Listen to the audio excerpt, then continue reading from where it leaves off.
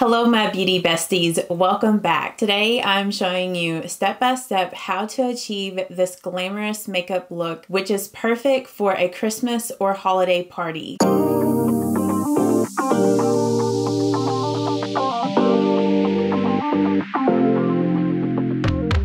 I'm first going in with the e.l.f. Power Grip Primer. And I really like this primer because it helps to not only smooth out the area, but it gets a little tacky and it helps my foundation to last longer to grip to this primer. So I usually wait about 30 seconds for this primer to dry down and get tacky for the foundation. I'm gonna be using this Believe Beauty Foundation. You can get this at Dollar General. It amazes me that they can sell this for $5.50 just because the packaging is so luxe. It comes in a glass bottle and it has a nice pump. I just do two pumps of that on the back of my hand and I just use my other finger to kind of spread that out to give myself an even distribution of this foundation. And then I'm just using my dampened Wet n Wild makeup sponge to blend this foundation onto the skin. And I really like the coverage on this foundation. It has a good medium coverage and it looks really natural on the skin. If you don't have a Dollar General around you, some other foundations that I do enjoy from the drugstore that have a good like skin-like finish. The L'Oreal Infallible Pro Glow is a really good one and the newer Maybelline, I think it, I have it over there. It's the Maybelline Superstay um, Skin Tint. That's also a really good natural skin finish foundation. If you want a more matte but full coverage, long lasting foundation, the Revlon Color Stay is my go-to foundation for that. So if you're not really into the more dewy natural finish glow, I would recommend Revlon Color Stay. Not only does it look really good on your skin, but it has amazing, amazing lasting power. Like that foundation will last 16 hours on me. And then I'm just taking the flat side and blending that here on my nose. My current favorite concealer has been this e.l.f. Hydrating Camo Concealer and the shade that I have been using is Fair Beige. So I'm just going to put a little bit of that just right here at first. A little bit of this stuff goes a long way so you don't need a ton of it. And it's actually better if you don't use a a lot of it or it can kind of settle into your fine lines. So I'm just going to first tap this out with my finger. And then I'm just going to go back with my makeup sponge and blend that out.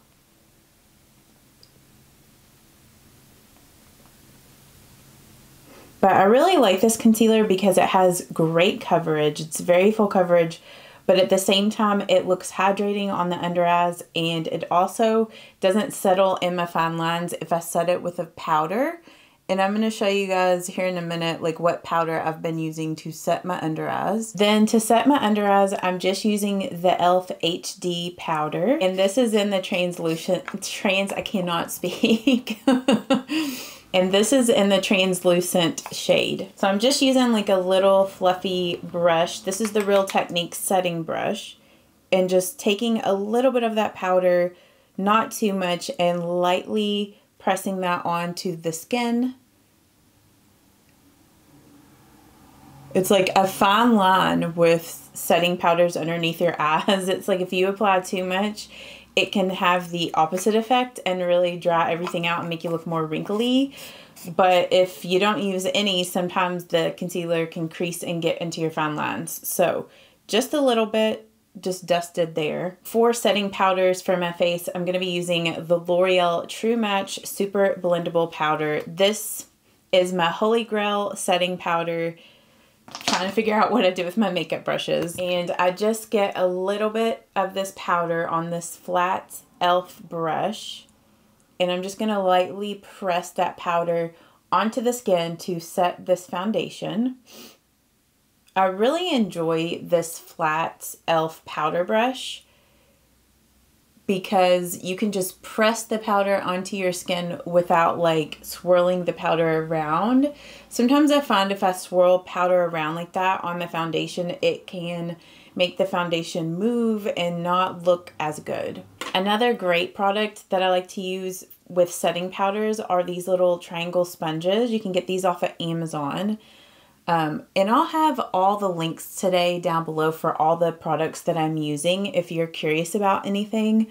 But it also has the same effect like where it just presses the powder into your skin. I'm just going to go kind of more natural with my eyebrows today. And I'm using my e.l.f. Clear Brow and Lash Mascara. I just brush it through my eyebrows. Then I just kind of use my finger to flatten the brow hairs down. And then I'm just going to let this gel set and dry a little bit before I go in with my brow pencil to fill in any gaps. But this brow gel is really effective and it's only $3 so I feel like you cannot beat it. It's not going to give you an extreme like brow lamination effect but it does hold your brows in place and look more natural than a really fluffy laminated brow. Okay, now that my eyebrows have dried, I'm going in with my NYX Micro Brow in Cool Ash Brown and just filling in any little sparse gaps. I had my eyebrows microbladed back in 2018. So the microblading has really faded, but it's still kind of there. So I don't really have to fill my brows in too much because they still have a little bit of tinting from when I got my eyebrows microbladed. But mostly I find that it's faded off like the bottom here, which is where I need to fill in the most. But I really like this micro brow. It works really well and is a great dupe to the Anastasia Brow Wiz or the Benefit Precisely My Brow. I recently picked up this eyeshadow primer from Hard Candy and I've been enjoying it so much. So this is just a long wear eyeshadow primer.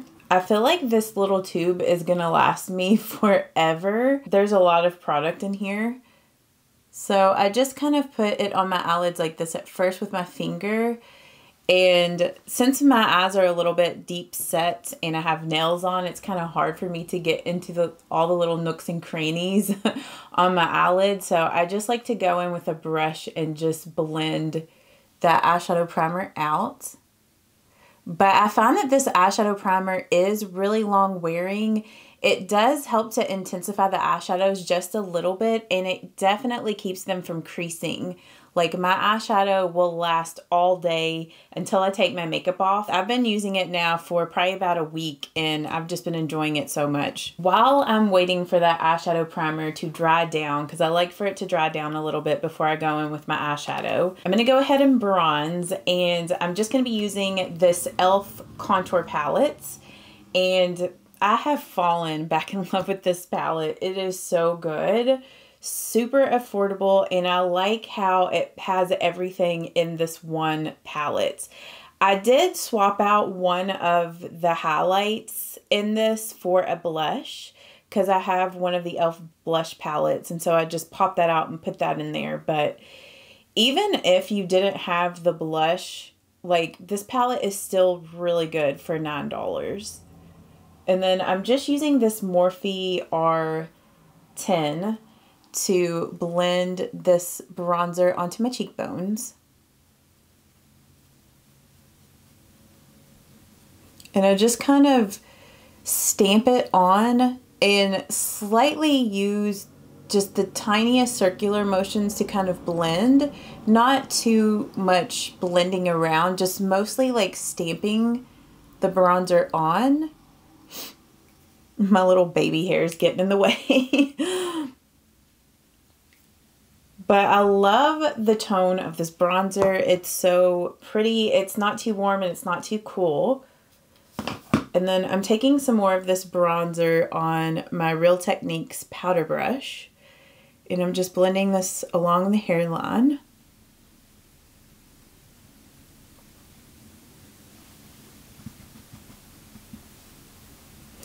So, do you guys like what are your holiday plans this year? Do you have very many holiday parties that you're going to?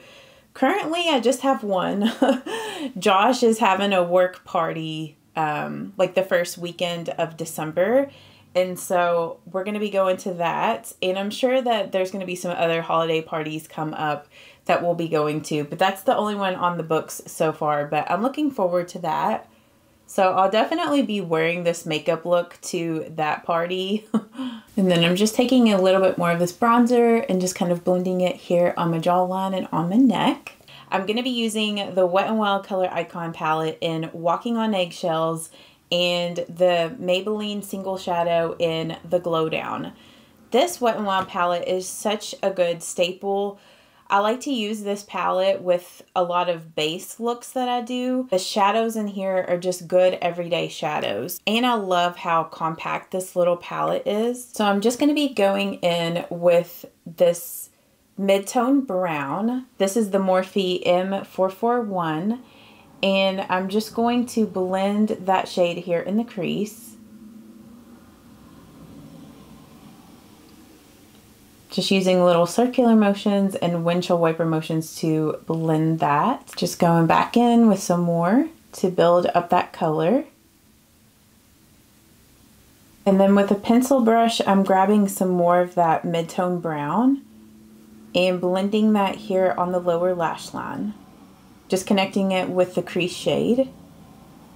Then with a small angled brush, I'm going in with this cream shade and putting that here on my brow bone. And I'm also gonna pop this in the inner corner.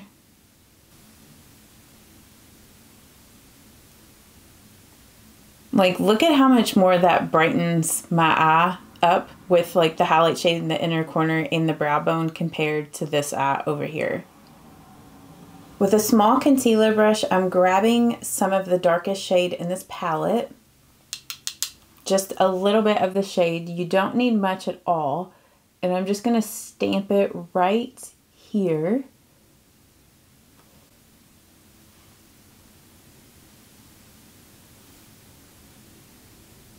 Make sure you knock the excess off on that shade or you can have some fallout. And then I'm going to get some more of that brown on the tip of this brush and just connect that here on the lower lash line.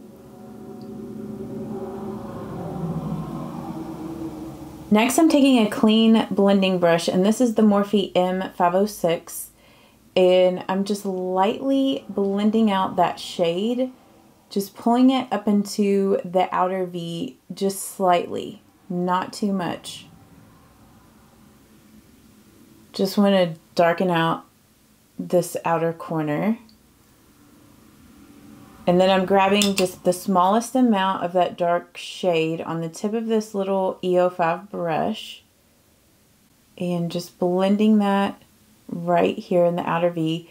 Like I'm kind of pulling it up like this and then using little circular motions to pull that over. And I hope you can see like how that's kind of creating like a really faint like little V shape right out here.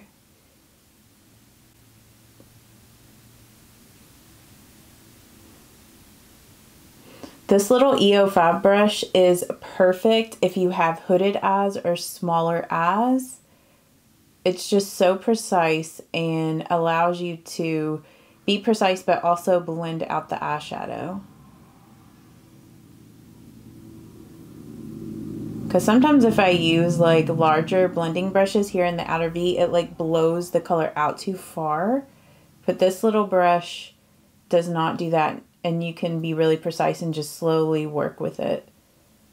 And then I'm just going back with that original shade that we put in the crease and just blending out the edge of that darker shadow just to soften it so it doesn't look too intense or harsh. And so like the key with getting the outer corner to not look too like too dark is to just blend lightly and make sure that you're not using a ton of that shadow. The star of the show is this Maybelline The Glow Down eyeshadow. I'm just packing that shade on a flat shader brush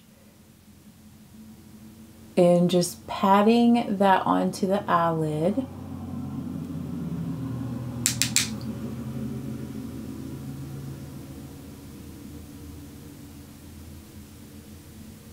And since my eyes are kind of deep set, they're not necessarily hooded, but I kind of have to go up above my crease a little bit to kind of cut out the crease. This is kind of like a soft cut crease. And then I'm going to pat some of this gold on top of the darker shade out here just to blend that. And then I'm going to go back to the face and I'm using this blush by Essence. It's their Pure Nude. I don't know why that's such a tongue twister for me. Pure Nude Blush. And this is in the color Rosy Rosewood. And I might end up adding a little bit more blush depending on how the lipstick looks. I'm probably going to go ahead and do the lipstick right after this just so I can see if I need to make my blush more intense since I'm using a red lip. Well, I guess this is the second star of the show is the red lips. And could it be a holiday look without red lips? I don't know. I mean, there's definitely good holiday makeup looks out there without red lips, but this is just classic and I have been loving these Maybelline Superstay Vinyl Inks. I just recently picked this one up in Wicked and I find for some reason with the brighter and darker shades in these vinyl inks, they do last longer because I love the color Cheeky and I wear this all the time and I used to kind of think like these weren't very long wearing because I would put this on and it would last until I would eat something. And then after I would eat something, it would wear off and I had to reapply. But these darker ones will last through eating or brighter because this really isn't dark, it's just bright. So like I said, this is in the shade Wicked.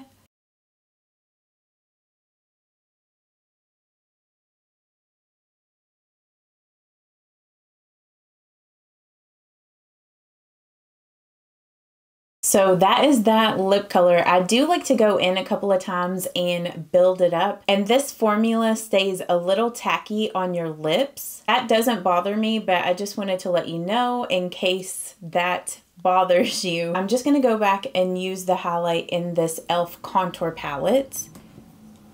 This is a really nice, subtle, natural highlight. So it's not too intense and I just think it looks really nice with this makeup look. I've really been enjoying this highlight so much. Then before I do my mascara, I'm going to go ahead and do my setting spray. I just always like to do my setting spray before I do my lashes just so it doesn't cause the mascara to smudge or my lashes to fall down. And I'm going to be using my e.l.f. Makeup Mist and Set.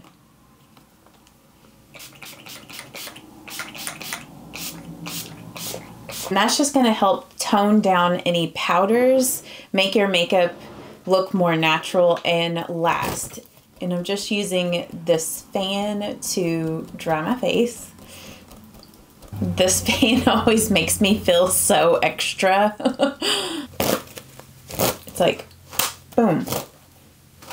and if you're curious as to where I got this fan, I got it off of Amazon, so I'll have that link down below.